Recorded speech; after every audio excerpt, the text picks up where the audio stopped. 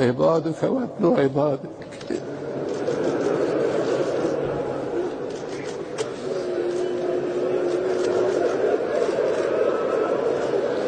وابن إمائك نزلوا بك وأنت خير منزول به.